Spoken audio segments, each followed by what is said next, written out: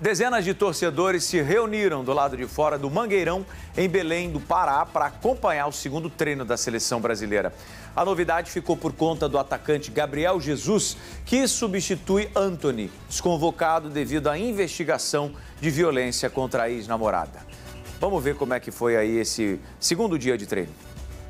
Do lado de fora do Mangueirão, dezenas de torcedores incansáveis. Viveu o Neymar. Tu tá acompanhando o Neymar desde onde? Desde, desde lá do hotel. Cadê o Neymar? Não cadê nem moral pra nós?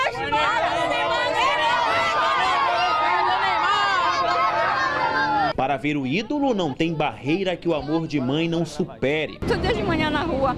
É, tudo para ver, para tentar ver o jogador. Sim. Ele, tem, ele é fã do, do Richardson. Eu tava esperando para entrar aí no Mangueirão, mas não deu certo. Do lado de dentro, jogadores em aquecimento.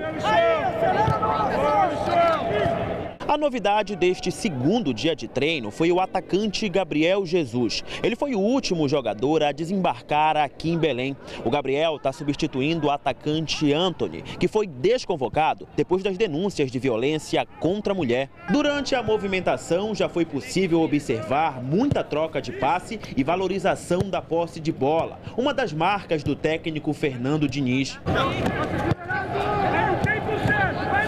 É prazeroso porque a gente fica com a bola, né? É lógico para quem está assistindo, parece que pô, tá correndo risco, mas é muito bem treinado. É, quando eu estava no Atlético, falava que era uma bagunça organizada. Então, a gente que está acostumado a treinar e está exposto isso o tempo inteiro, a passar por isso nos treinamentos, quando chega no jogo é um negócio que está meio automatizado já para repetir, então sai naturalmente. Mas, poxa, para quem está assistindo, dá um frio na barriga. O Diniz ele tem uma forma diferente de jogar e o mais rápido possível, porém, porém a base e o, e o futebol, o conceito do, do, do, futebol, que é uma coisa que até mesmo o Diniz vem passando para nós, é a alegria, né? Além dos torcedores, a seleção também concentra em volta dela jornalistas do país inteiro.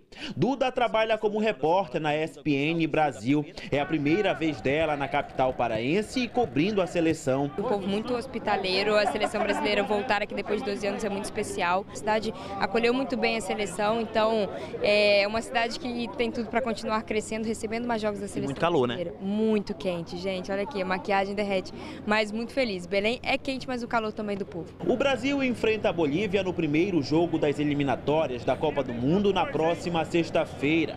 E os torcedores paraenses têm uma dica para que os jogadores ganhem energia e façam bonito em campo. O que, que o Neymar tem que tomar para ele fazer um gol lá?